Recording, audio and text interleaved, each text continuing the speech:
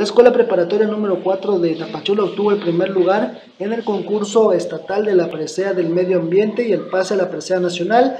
Carlos Guiones Escobar, responsable de las brigadas ecológicas del plantel, destacó que participaron en el proyecto la comunidad estudiantil, padres de familia, personas de la escuela en la puesta en marcha de las jornadas de limpieza, así como de la carretera que comunica Tapachula con los ejidos de la zona alta, limpia del Parque del Café, la periferia y las instalaciones de la misma escuela. Efectivamente, mira, el concurso se llama la Presea Nacional del Medio Ambiente. Su primera fase es precisamente la Presea Estatal del Ambiente.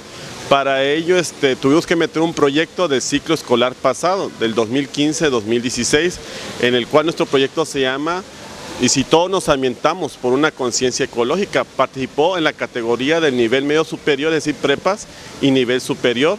Y en este caso te puedo decir que apenas el día de ayer nos notificaron que ganamos el primer lugar, ganamos el primer lugar a nivel preparatorias y a nivel universidad con este proyecto. Y el proyecto principalmente consta de lo que es el sendero ecológico, que ya tienes el gusto de conocerlo. Añadió que el plantel tuvo la visita del reconocimiento internacional de Rainforest a través de la gerente mundial María Guiso, logrando tener la certificación como escuela saludable y sustentable.